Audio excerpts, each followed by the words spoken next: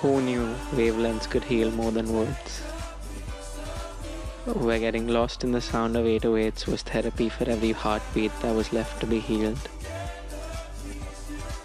Where mentally teleporting myself to a euphoric crowd of thousands, jumping, grooving, and feeling every melody with a different emotion. Where complete strangers move in a single frequency, united by the analog sounds of the oscillating pianos, chanting lyrics in ecstasy. This is what it's like to feel.